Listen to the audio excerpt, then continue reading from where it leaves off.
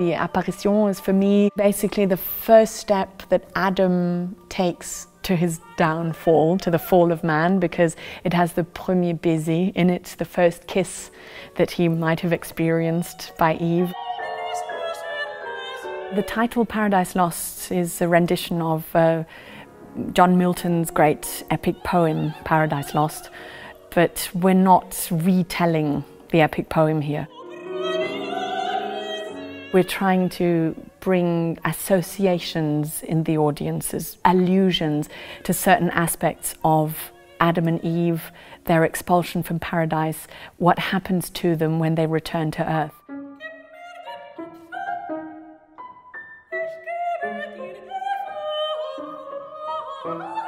Gib mir den Apfel by Aribert Reimann is from the cycle Kinderreime and it's a very short witty song and well of course, it has the word apple in it and has something childish and obstinate about it, which I really liked.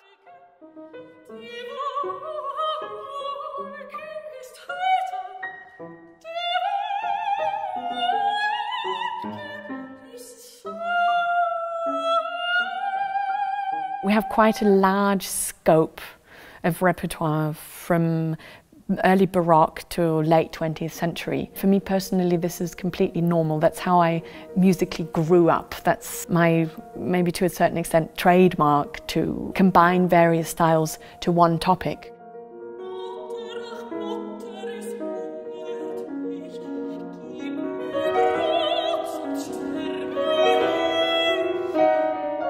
Mahler, Das irdische Leben, is a song that's representative for the last group of songs on the album, I would say. It's a song that talks about the toils and troubles and hardships of earthly life, which in our program, Adam and Eve, experience.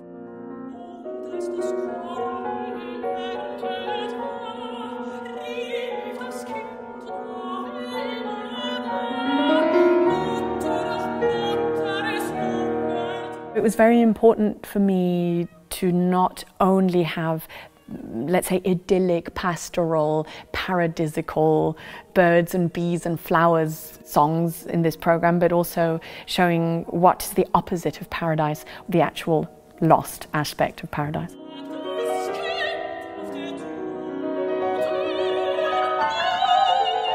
I've been an admirer of Julius Drake's for a very, very long time. One of the greatest recitals that I've ever heard was with him and uh, Gerald Finley in Berlin a few years back, and um, it was just absolutely mind blowing. And since then, I thought, oh, I've got to work with him. Through my actual agent, we got in touch, who's a good friend of his, and so it's um, more of a private connection somehow, how we found each other.